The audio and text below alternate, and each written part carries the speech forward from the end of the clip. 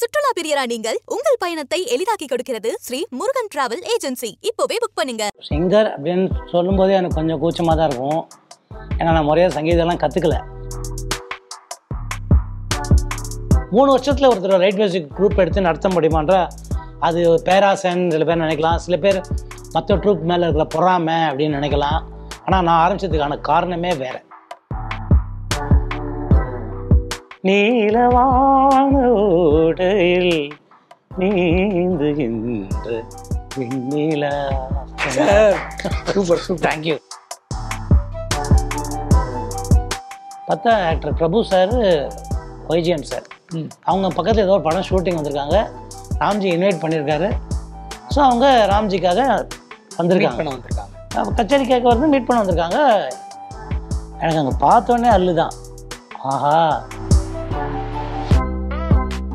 டெலிவிகடன் நேர்கள் அனைவருக்குமே எனது அன்பான வணக்கம். இட்ஸ் மீ மாதவன் கேஎஸ் இந்த இன்டர்வியூ வந்து ஒரு ஃபன்னான இன்ட்ராக்ஷனாக இருக்க போகுது அதுக்கு நே நிகராக வந்து நாஸ்டாலஜிக்கான ஸ்டோரிஸும் நிறைய இந்த இன்டர்வியூவில் வந்து நம்ம கேட்டு தெரிஞ்சுக்க போகிறோம் இந்த இன்டர்வியூவில் நம்ம கூட யார் ஜாயின் பண்ணியிருக்காங்க அப்படின்னு பார்த்தீங்கன்னா singer television artist stage stage artist Sairam sir தான். வணக்கம் சார் வணக்கம். எப்படி இருக்கீங்க? நல்லா இருக்கேன் சார் உங்களோட கெரியர் நாங்கள் படிக்கும்போது சிங்கர்லேருந்து நீங்கள் ஸ்டார்ட் பண்ணியிருக்கீங்க ஸோ அந்த இடத்துலேருந்து நம்ம ஆரம்பிக்கலாம் சார். எப்போ சார் அது ஃபைன் பண்ணி முதல் ப்ரோக்ராம் எப்போ சார் பண்ணீங்க? சிங்கர் அப்படின்னு சொல்லும்போதே எனக்கு கொஞ்சம் கூச்சமாக தான் இருக்கும். ஏன்னா நான் முறையாக சங்கீதம்லாம் கற்றுக்கல ஆக்சிடெண்ட்டாக சிங்கர் ஆனவன் தான். என் லைஃப்பில் எல்லாமே ஆக்சிடெண்ட்டு தான். காலேஜ் கல்ச்சரல்ஸில் பாட வேண்டியவருக்கு திடீர்னு மஞ்சக்காமாவில் வந்து அவர் மொரிஷியஸ் போயிட்டார். ஸோ நான் கூட ஏதோ கையோமேன்னு கற்றுவேன் பேர் கொடுத்துட்டோன்னு சொல்லி என்னை இறக்கினாங்க. அந்த பர்டிகுலர் காம்படிஷனுக்கு பிபி ஸ்ரீனிவாஸ் சார் தான் ஜட்ஜு ஸோ நான் ஏதோ எனக்கு தெரிஞ்ச பாட்டை பாடிட்டு நான் போய் உட்காந்துட்டேன் கொஞ்ச நேரம் கழிச்சு எங்கள் கல்ச்சுரல் செக்ரட்டரி வந்து சாய் சாய்வா ஸ்டேஜ் ஸ்டேஜுக்கு கூப்பிட்றாங்க. நீ தான் இன்டர் காலேஜியேட்டில் ஃபஸ்ட் ப்ரைஸ் வாங்கியிருக்கேன் நான் ஏதோ கலாய்கிறான்னு தான் நினச்சேன் நான். டே போடா சும்மா அப்படின்னு. சிச்சி இல்லைடா நிஜமாடா வெயிட் பண்ணுறாங்கடா உன் பேர் அனௌன்ஸ் பண்ணிட்டாங்கடான்னா போனால் அவன் சொன்னது உண்மை தான் ஸோ அதுக்கப்புறம் அடுத்த செகண்ட் இயர் தேர்ட் இயர் அப்படி அதுக்கப்புறம் கூட சீரியஸாக எடுத்துக்கல. ஃபேமிலி ஃப்ரெண்டு ராஜான்னு வயலினிஸ்ட் இருந்தார். அவர் சங்கர் கணேஷ் ட்ரூப்பில் இருந்தார். அவர் என்னை வந்து ஃபோர்ஸ் பண்ணி உண்மையை சொல்லணும்னா ஃபோர்ஸ் பண்ணி லைட் மியூசிக் குரூப்லாம் இன்ட்ரடியூஸ் பண்ணி ஸோ அவருடைய என்ன சொல்கிறது ஒரு என் மேலே அவர் வச்சிருந்த நம்பிக்கை ப்ளஸ் அவர் போட்டு அரிச்சு எடுத்ததால் நான் என்னுடைய ஃபஸ்ட்டு ப்ரொஃபஷனல் மேடை பாட்டு நான் பாடினது nineteen seventy seven November fourteenth இந்த சென்ட் தாமஸ் மவுண்ட் கிட்ட ஆலந்தூர்னு ஒன்று இருக்குது அங்கே அந்த அம்மன் கோயில் விழாலாம் பிள்ளையார் சதுர்த்தி கச்சேரி. ரோட்டில் அந்த கோயில் கச்சேரிலாம் அவங்களுக்கு உங்கள் இப்போ இருக்கிற யங்ஸ்டர்ஸ்லாம் தெரியுமான்னு தெரியாது. அப்போ அது வந்து ஒரு part and parcel of Tamil Nadu during Pillaiyar Chathurthi ஆடி மாதம்னா கச்சேரி. எல்லா ஏரியாலும் நடக்கும். ஒரு நூற்றி ஐம்பது கச்சேரி நடக்கும் ஒரு நைட்டில் எல்லா ஆல் ஓவர் மெட்ராஸ் அதில் தான் ஃபஸ்ட்டு இனாகிரேஷன் தான். மீடியாவோட கரியர் எப்படி ஸ்டார்ட் ஆச்சு? அதுக்கு முன்னாடி ஸ்டேஜ் ஆர்டிஸ்டாகவும் நீங்கள் இருந்திருக்கீங்க. ஸோ இந்த ஆர்டிஸ்டோட ஜோன் எப்போ ஸ்டார்ட் ஆச்சு சார் இந்த லைட் மியூசிக் பாட ஆரம்பித்தோடனே வேலைக்கு போயிட்டேன் நான். ஃபஸ்ட்டு ஒரு ஆட்டோமொபைல் கடை. இந்த ஜெனரல் பேட்டர்ஸ் ரோட்டில் சுபாஷ் ஆட்டோ என்டர்பிரைசஸ்னு அங்கே ஒரு ஒன் இயர் இருந்தேன். எவ்வளோ சம்பளத்துக்கு வேலை டூ ஹண்ட்ரட் ருபீஸ் மந்த்லி காத்தால ஒரு ஒம்பது மணிக்கு போனால் ராத்திரி ஒரு எட்டு மணிக்கு நான் வெளியே வர முடியும். அங்கே போனால் சும்மா பேர் அக்கௌண்ட்ஸ் அசிஸ்டன்ட் பிகாம் முடிச்சிட்டேன். சிஏ பண்ணணும்னு ஆசைப்பட்டேன் பட் ஃபேமிலி கண்டிஷன்ஸ் எனக்கு சப்போர்ட் பண்ணல. ஸோ நான் வந்து வேலைக்கு போயிட்டேன். இரநூறுபா சம்பளம். அப்போ சீரியஸாக கச்சேரி போவேன் நான் வருவேன். அந்த ஒன் இயர் இருந்தால் அங்கேயும் குவாலியர் டெக்ஸ்டைல்ஸ்னு அந்த கொடவுன் ஸ்ட்ரீட்டில் இருக்கும் ஹோல்சேலர் அதெல்லாம் பேர் நம்ம அக்கௌண்ட்ஸ் மற்றபடி நீங்கள் எல்லா வேலையும் செய்யணும். அங்கே இருந்தால் ஸ்பேர் பார்ட்ஸ் எடுத்து காட்டணும் மெக்கானிக் வருவான். அச அந்த ஒரு நாள் ஆளின் நாள் அழகுராஜா தான். மேலே உட்காந்தானா அக்கௌண்ட்ஸு கீழே வந்தானா நீங்கள் தான் என்னென்ன அவங்க கேட்குற திங்ஸ்லாம் எடுத்துற சேல்ஸ்மேன் வீக்லி கலெக்ஷன் போகணுன்னா ஒரு ஒரு அது அந்த ரோட்டில் நீங்கள் பார்த்துருப்பீங்க. ஒரு நூற்றி ஐம்பது இரநூறு கடை இருக்கும். ஸோ வீக்லி ஒரு ஒரு கடைக்கு ஒரு ஒரு கடைக்கு இன்ட்ராக்ஷன் இருக்கும். அந்த டியூஸ் இருக்கும். அது ஒரு நோட் புக்கில் எழுதி போய் ஒரு ஒரு கடையிலே போய் செக்கு கேஷ் கலெக்ட் பண்ணோம் அப்போ நீங்கள் கலெக்ஷன் ஏஜென்ட்டு எல்லாம் அதான் சார் நாலு நாள் அழகுராஜா குவாலிட்டி டெக்ஸ்டைல்ஸில் அப்படி இல்லை. ஒரே அக்கௌண்ட்ஸ் ஒர்க் தான். ஒன் இயர் இருந்தேன் பட் தேங்க் காட் அதுக்கப்புறம் ஒரு அமெரிக்கன் கம்பெனி ஃபெடர்ஸ் கிளாய்டுன்னு கம்பெனியில் எனக்கு எயிட்டியில் வேலை கிடச்சிது. ஸோ அதில் கிட்டத்தட்ட ஃபிஃப்டீன் இயர்ஸ் ஒர்க் பண்ணேன்.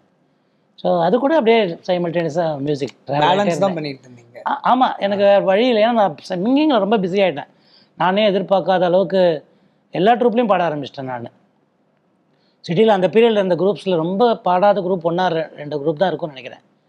அண்ட் அபஸ்வரம் ராம்ஜி குரூப்பில் பர்மனன்ட் சிங்கர் ஆகிட்டேன் is one of the top most group அப்போ வந்து ஏவி ரமணன் அபஸ்வரம் ராம்ஜி ஸ்ரீதர் நவராக்ஸ் ரகுராஜ் சக்கரவர்த்தி சிவராஜ் ஆனந்த் இது மாதிரி ஒரு ஒரு சில குரூப்ஸ் தான் மெட்ராஸ்லேயே இப்போ மாதிரி இல்லை. பத்து குரூப் இருந்தால் பெரிய விஷயம். நார்த் மெட்ராஸில் அதே மாதிரி அன்பே சிவம் அது மாதிரி ஜார்ஜ் மேலே சொன்னால் இந்த மாதிரி நிறையா குரூப் இருக்குது அது மாதிரி ஸோ இருபது நாள் இதெல்லாம் ஈவினிங்லாம் ஈவினிங்கான கச்சேரி தான். வெளியூர் அவர் ராம்ஜி வந்து ரொம்ப இன்ஃப்ளூயன்ஷியல் பர்சன் சினிமா இண்டஸ்ட்ரியில் அவர் a very good friends our S V Shekhar sir YG Mahendra sir Kamal சார்லாம் ரொம்ப க்ளோஸ் ஃப்ரெண்ட்ஸு ஸோ ராம்ஜியோடைய ப்ரோக்ராம் குவாலிட்டியும் ரொம்ப நல்லாயிருக்கும் ஸோ அதனால் வெளியூர் வெளிநாடு கச்சேரிலாம் வரும். ஸோ அவரோட நிறைய ட்ராவல் பண்ண வேண்டியது இருக்கும். ஸோ ஆஃபீஸ் இது இது ரெண்டும் அப்படியே பேலன்ஸ் பேலன்ஸ் ஆகிட்டே இருந்தது. அதுலேருந்து எப்படி சார் மேடை நாடகங்கள்லாம்? மேடை நாடகங்கள் ஆக்சுவலாக நான் அதான் நல்லவேளை ரிமைண்டட் மீ அர்த்தமுள்ள மோனங்கள்னு ஒய்ஜி மகேந்திரா சார் வந்து ஒரு ட்ராமா போட்டார். அதில் என் ஃப்ரெண்டு சங்கர்னு நடிச்சிட்டு இருந்தார். அவர் என்னை அழைச்சின்னு போய் எனக்கு நடிப்பில் பிடிக்கும்னு தெரியும் அவனுக்கு பட் எனக்கு ஒன்றும் நடிக்கணும் ஆகணுன்ற லட்சியம்லாம் கிடையாது. அவர் அழைச்சின்னு போய் விட்டார். நான் போய் லைட் மியூசிக்கில் பாட ஆரம்பிச்சிட்டேன். ஒரு நாலஞ்சு ப்ளே பண்ணிட்டேன் நான். அதில் ஒரு சீனோ ரெண்டு சீனோ தான் வருவேன். பட் அந்த குரூப் வந்து யுனைடெட் அமைச்சர் ஆர்டிஸ்ட்ன்றது வந்து ட்ராமா ஃபீல்டில் இருக்கிறவங்களுக்கு மெக்கா மாதிரி அது. அவ்வளோ புனிதமான என்ன என்ன சொல்கிறது ஒரு டிசிப்ளின்டு அண்டு குவாலிட்டினா அப்படியே இன்னி வரைக்குமே நீங்கள் பார்க்கலாமே. சாரு கேசி அவர் போட்டுட்ருக்காரு. ஸோ அது வந்து ஒரு கோயில் மாதிரி நடத்தக்கூடிய ஒரு இது குழு. நான் அந்த அப்போ ரொம்ப எங்கேஜ் எனக்கு. அந்த சீரியஸ்னஸ்ஸே புரியல. அங்கே போனால் நடிக்கிறதுக்கெலாம் அப்போ பேமெண்ட்லாம் கிடையாது. டிஃபன் தருவாங்க. ஏதோ கன்வீனியன்ஸ் மாதிரி பத்து ரூபா கொடுப்பாங்க. எனக்கு கச்சேரியில் நாற்பது ரூபா பேமெண்ட்டு எனக்கு பணம் நிறையா தேவைப்பட்ட பீரியடு ஸோ நான் சொல்லிக்காமல் எனக்கு பதிலாக ஒரு பையனை ட்ரெயின் பண்ணி நாளே நீ போய் நடிச்சிடுறான்னு சொல்லி நான் வந்து பாட போயிட்டேன். அங்கே அவங்க தேடி இருக்காங்க. அவருடைய வைஜிஎம் சாருடைய அப்பா வைஜி பார்த்தசாரதி இருக்கார் பார்த்து அவர் ரொம்ப ஸ்ட்ரிக்ட் அவர் பார்த்தா எல்லாருமே பயப்படுவாங்க. அவங்களாம் அஞ்சரை மணிக்கு டான்னு ட்ராமா ஆர்டிஸ்ட் இருக்கணும். அவர் தேடி தேடி பார்த்துருக்காரு. எங்கடா அவன் சாய் அந்த புது பையன் காணும்னா? "ஆ, என் டைலாக் யாரோ ஒருத்தங்க ப்ராக்டிஸ் பண்ணியிருக்கான் அவனும் வைஜிஎம் சார் போய் கேட்டிருக்காரு. யார்ப்பா நீ என்ன சாய் இன்னைக்கு வரமாட்டான் அவனுக்கு கச்சேரி இருக்குது போயிட்டான். என்னை வந்து சப்ஸ்டியூட்டாக அனுப்பிச்சிருக்கான். எனக்கு டைலாக்லாம் சொல்லி கொடுத்துட்டான். அவருக்கு செம்மக்கம் வந்துடுச்சு ஏன்னா அந்த ட்ரூப்பில் வந்து Joe sir C CM Jayalalithaa madam இந்த மாதிரி நீங்கள் ராதா ரவி சார் அதில் நடிக்காதவங்களே கிடையாது. நீங்கள் எனி பெரிய ஆர்டிஸ்ட் சொல்லுங்க அவங்களாம் அங்கே நடிச்சுட்டு வந்தவங்க தான் மௌலி சார் சொல்லிகிட்டே போகலாம் அடிக்கிட்டே போகலாம் ஸோ செம்ம கோவம் வந்து ஒரு கிட்டத்தட்ட எதிர்க்கலாம் மாட்டேங்கன்னா கொலை பண்ணியிருப்பார் அவரை. ஸோ நான் அதுக்கப்புறம் ராம்ஜியில் சேர்ந்து ராம்ஜியில் பாட ஆரம்பிச்சிட்டேன். ஊட்டியில் ஃப்ளவர் ஷோவில் ராம்ஜி ஷோ நடக்குது. நான் பாடிட்டே இருக்கேன் அது ஒரு பாட்டு அந்த பீரியடில் ஹிட்டான பாட்டு. திடீர்னு பார்த்தா லைட் ஃபோக்கஸ் அப்படி போகிறது ஒரு ரெண்டு கேரக்டர் உள்ளே நுழையிறாங்க ஃபஸ்ட் ரோல் வந்து உட்காரதுக்கு பார்த்தா actor Prabhu sir YGM sir. அவங்க பக்கத்தில் ஏதோ ஒரு படம் ஷூட்டிங் வந்திருக்காங்க. ராம்ஜி இன்வைட் பண்ணியிருக்காரு ஸோ அவங்க ராம்ஜிக்காக வந்திருக்காங்க. வந்திருக்காங்க. அப்ப கச்சேரி கேட்க வந்து மீட் பண்ண வந்திருக்காங்க. எனக்கு அங்கே பார்த்தோன்னே அல்லு தான் ஆஹா ஞாபகம் வச்சிருக்காங்க எனக்கு வச்சிருப்பாரா வச்சுக்கிறன்றதை தாண்டி எனக்கு தெரியுதுல நான் தப்பு பண்ணிட்டேன்னு. என்ன திட்டுவாரோ என்ன பண்ணுவாரோன்னு மக்கள் வெளில சொல்லிட்டே இருக்காங்க அந்த உன் மேலே அவ்வளோ காண்டில் இருக்காங்க நீ மட்டும் அதனால் கண்ணில் பட்டேன்னா அவர் உன்னை கொலை பண்ணிட்டு அவர். அப்படின்ற ரேஞ்சில் ஒரு உள்ளுக்குள்ள ஒரு பயத்தோடயே பார்த்துட்டு இருக்கேன். ஒன்றுமே அவங்க பட்டாக்கு பேசினாங்க போயிட்டாங்க. ராம்ஜி போகும்போது சாய் நம்ம ரூமுக்கு போகிறதுக்கு முன்னால் எனக்கு தெரிஞ்ச ஒருத்தர் இருக்கார் அவங்கள பார்த்துட்டு போயிடலாம் வரையா அப்படின்னு. அதனால் என்ன ராம்ஜி போகலாம் அப்படின்னு சொன்னேன். அங்கே அங்கே அங்கே இருக்கிறதே ஒரு பெரிய ஹோட்டல். அங்கே போய் ராம்ஜி கதவு திட்டேன் நான் அவரோட ஃப்ரெண்டு யாரும் இருப்பாங்க திறந்தால் வைஜிஎம் சார் இருக்கார் அங்கே. வாடா உனக்கு தான் வெயிட் பண்ணிட்டு இருக்கேன். வா உள்ள என்ன ராம்ஜி இல்லை உன்கிட்ட ஏதோ பேசணும் என்கிட்ட. சொன்னான் அதனால தான் அவன் நைஸ்ட்டு வந்திருக்கான். வா உள்ளே போய் பேச. அவன் உட்காந்து என்ன வேலை பண்ண நீ? கொஞ்சமாவது மரியாதை தெரியுது அவனுக்கு சீரியஸ்னஸ் இருக்கா? கொலை பண்ணியிருப்ப ஆனால் பரவாயில்ல. நீ சூஸ் பண்ண கேரியரில் நீ ஜஸ்டிஃபை பண்ணுற நல்லா பாடுற. அதனால் உன்னை மன்னிச்சு விட்டேன் நானுன்ட்டு. அன்றைக்கி என்னுடைய டென்ஷன் எனக்கு தான் தெரியும். ஸோ அதுலேருந்துக்கப்புறம் நான் ஸ்டேஜ் ப்ளே பண்ணல. அதுக்கப்புறம் இப்போ தான் ரீசெண்டாக அதுவும் டெல்லிக்குமார் சார் வந்து தீர்ந்தது கணக்குன்னு ஒரு ப்ளே போட்டார். விட்னஸ் ஃபார் த ப்ராசிக்யூஷன் ஒரு இங்கிலீஷ் ப்ளே அது அவர் என்னை கேட்டார் நீ பண்ணுறியான்னு பொம்மலாட்டத்தும் போது நானும் அவரும் எனக்கு போர் லைக் ஃபாதர் அவர். எப்படி மெட்டி ஒளியில் அஞ்சு பேருக்கு அப்பாவோ அது மாதிரி எங்களை மாதிரி நிறைய ஆர்டிஸ்ட்டுக்கு அவர் அப்பா மாதிரி ஒருத்தர் ரோல் மாடல் ஸோ அவர் வந்து நடிக்க சொன்னார். ஸோ அது நடித்தேன். அது நடித்தோடனே உடனே இன்னொரு தெரிஞ்ச நண்பர் ஒருத்தர் நடிக்க கூப்பிட்டார். அப்புறம் மதுவந்தி அவங்க டாக்டர் இருக்காங்க இல்லையா அவங்க வந்து அப்போ கோச்சிக்காதம்மா பெருமாள் டூன்னு ட்ராமா போட்டிருந்தாங்க. அவங்க கூப்பிட்டாங்க யூஎஸில் ஒரு டூரு போனேன் அதுக்கப்புறம் ஒய்ஜிஎம் சார் அவருடைய த்ரீ ஜி ப்ளே வந்து ஒரு இருபது ப்ளே யூஎஸில் போட்டார். அதில் நேதாஜி சுபாஷ் சந்திர போஸ் ரோல் அது பண்ணேன். அப்புறம் இப்போ வந்து பெருமாள் எட்டு வண்டி பண்ணிட்டு இருக்கேன். Okay. So that is how my stage acting career. ஆமாம் அதான். நீங்க உங்க டெலிவிஷன் அண்ட் அந்த ஆக்டிங் ஸ்டோரி சொல்றதுக்கு முன்னாடி எங்களுக்காக ஒரு பாட்டு பாடணும். நீங்கள் கேட்டுக்கிட்டதால எந்த ஒரு பேராபத்தையும் சமாளிக்கக்கூடிய தைரியம் உங்களுக்கும் உங்கள் குழுவுக்கும் இருக்கிறதால எனக்கு தொண்டை மோசமாக இருந்தாலும் நான் வந்து பாடி மக்களை சிரமப்படுத்துவேன்ற ஒரு கெட்ட எண்ணம் எனக்கு இருக்கிறதாலையும் நீங்கள் கேட்ட கேள்விக்கு செவி சாய்ந்து பாடுகிறேன். பிடிச்சவங்க தேங்க்ஸு நீங்கள் ரொம்ப நல்லவங்க. என்று எவ்வளோ மோசமாக பாடினாலும் ரசிப்பீங்க. நானும் நீயும் நாளைதான் மாலை சூடலாம். வானம் பூமியாவுமே வாழ்த்து பாடலாம். விழிகளில் தேன் துளி ஏந்திடும் பைங்கிளி. விழிகளில் தேன் துளி ஏந்திடும் பைங்கிளி. நீ இல்லையே நான் இல்லையே. எங்கே நீ அங்கே நான் தான். நீலவானோடையில்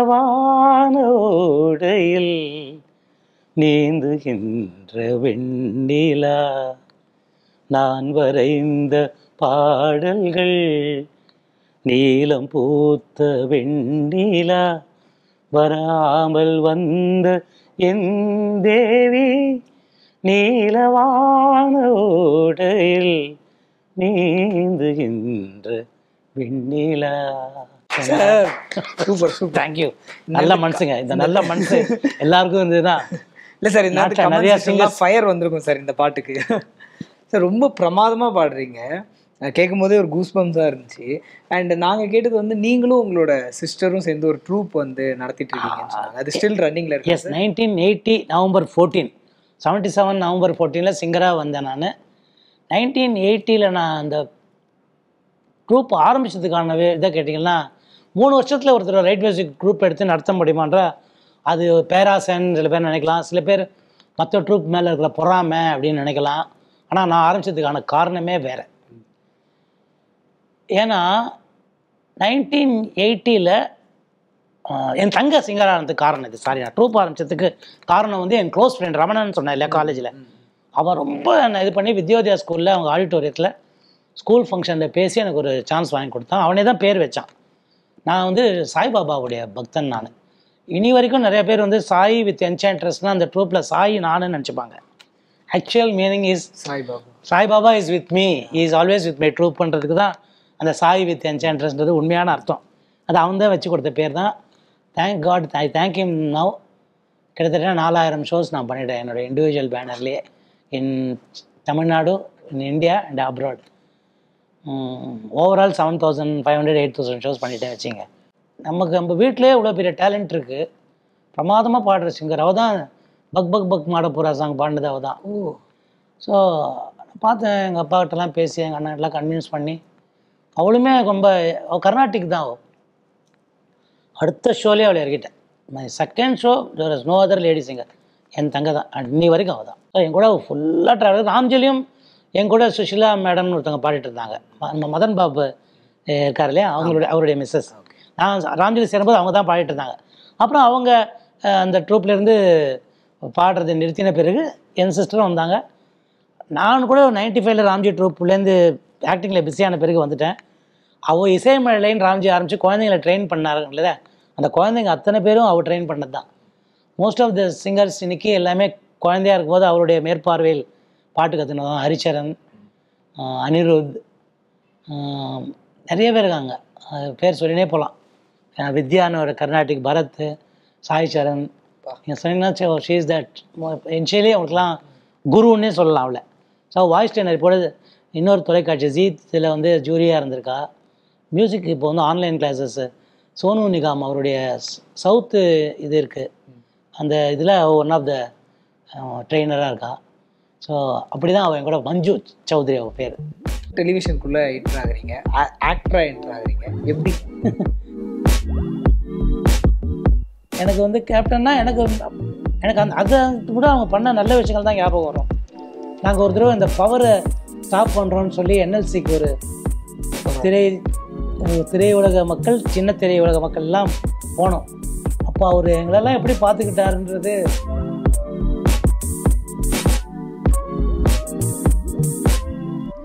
கேன்சர் சர்வைவர் தான் நான். பட் எதுக்கு அது அது நான் வந்து பற்றி ரொம்ப டீட்டெயில்டாக சொல்லாமல் இருந்தது